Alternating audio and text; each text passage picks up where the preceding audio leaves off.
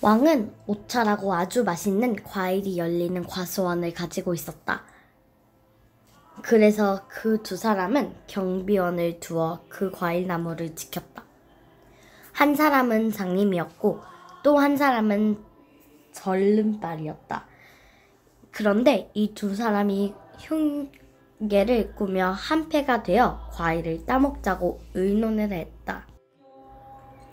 그리하여 장님이 절름바리를 어깨 위에 올려앉히고 절름바리는 방향을 가리켜서 두 사람은 맛있는 과일을 실컷 훔쳐 먹었다.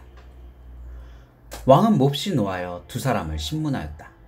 장님은 앞을 볼 수가 없기 때문에 자기는 과일을 따먹을 수 없다고 변명하였고 절름바리는 저렇게 높은 곳에 자기가 어떻게 올라가 과일을 따먹을 수 있겠냐고 반문했다. 그것도 그렇다고 생각하면서도 왕은 두 사람의 말을 믿지 않았다. 어떤 일을 처리할 때 둘의 힘은 하나보다 훨씬 위대하다.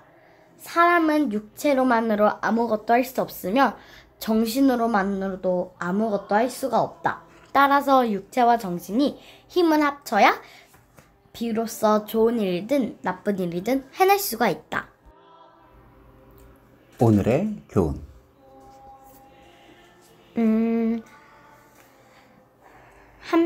한 명보단 두 명이 더 이렇게 잘- 어 아니면 하나님이랑 같이 있어야지.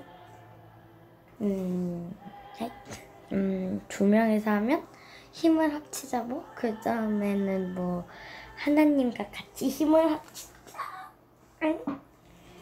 아빠는 몰래 먹고 거짓말을 하는 건 좋지 않다. 아, 그것도 있네. 안녕. 구독과 좋아요를 많이 많이 눌러주세요.